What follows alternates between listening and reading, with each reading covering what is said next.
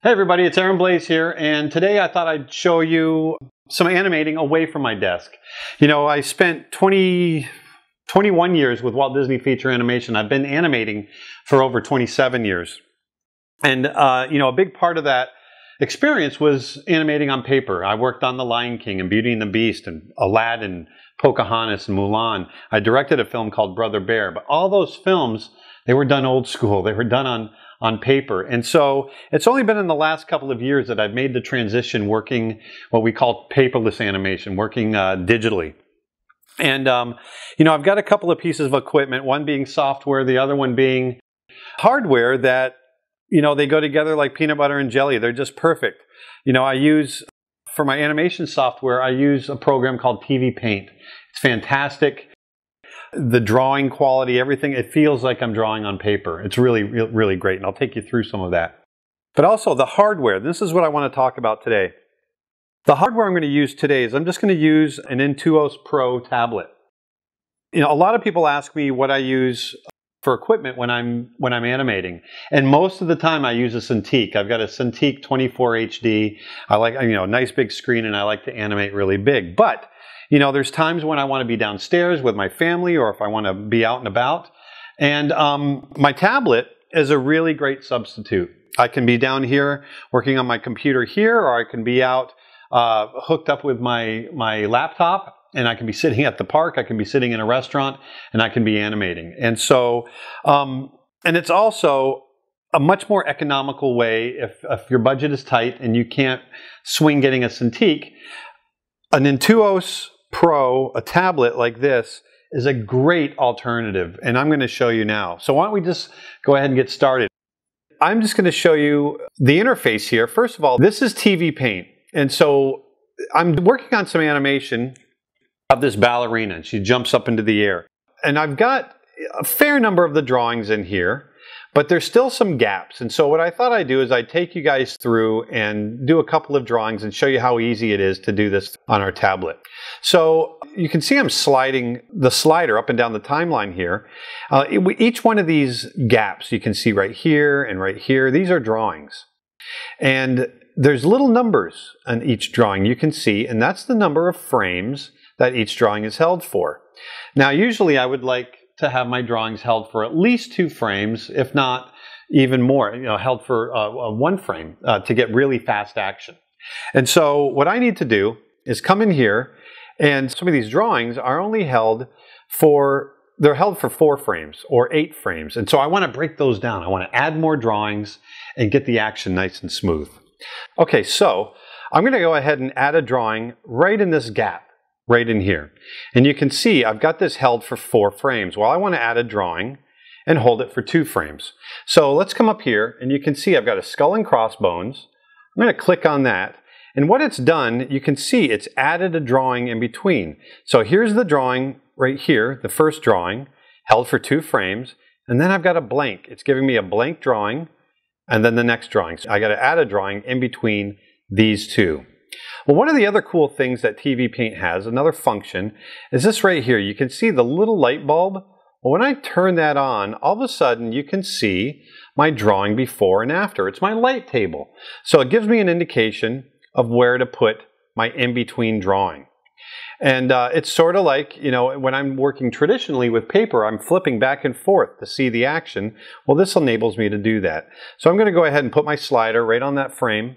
And I'm just going to go ahead and start drawing. Now, I usually like to start, you know, with the head and work my way down if I'm doing humans. And, and in this case, you can see I can stay fairly loose and I'm doing straight in-betweens. So I'm just kind of adding the torso. I usually get in, the, you know, the torso next. So that's what I'm doing here. And you can see that the in-betweens that I'm adding are right in half, right in between. And that's why they're called in-betweens. So I want to get that leg coming in right there work that calf muscle right into the heel.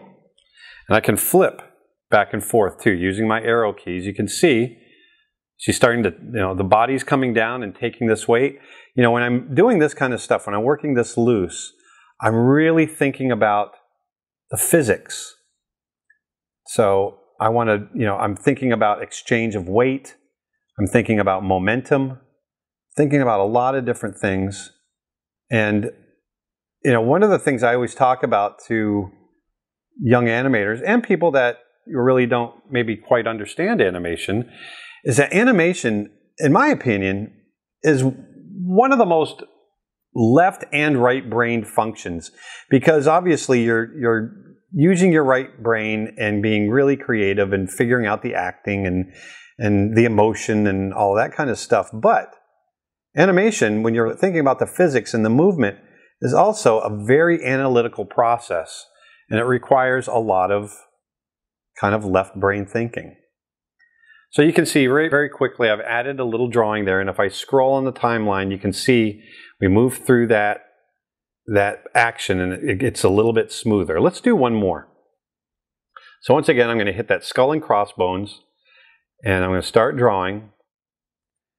I'm adding this, start with that head, indicate that neck coming down and the body and here we go here, getting that torso. And I want that arm. See, the, uh, her arm, if I click back and forth here, actually I'm going to use a slider. You can see the arm is really starting to come forward very quickly. So that arm is going to be right about in here. And so here we go. Bring that arm in. And I'm also thinking about the arcs. You can see that the arm is going to arc this way. So I want to make sure that I get those arcs nice and clear. All right, and I'm going to bring this leg, it's coming down forward here. That's that leg. And then this, this leg here, the one closest to us, is starting to come through. It's coming forward. There's that foot. There we go. This action that she's doing is basically an anticipation for a big leap. She's going to leap up into the air. And so what she's doing, she's, I'm thinking about once again the physics. She's gathering up that energy to make that leap up into the air. And so here you can see, again, a nice smooth action. Once again, I'm just using my, my tablet sitting in my living room. And it's nice. So why don't we just go ahead and play it and see what we've got. And there, look at that. So now you can see I've got some nice smooth movement as she leaps up into the air, this ballerina, this dancer. And um, so, I really highly recommend if you want to get into animation and you are on a limited budget, you know, the tablet is a great option. Um, I use it all the time. I really like it. You and the other great thing about it, once again, is its portability. Hooking it up to your your laptop and just being able to sit and animate anywhere. So anyway, um, get out there, check into TV Paint, start working on your tablet, and go animate something. I'll talk to you next time.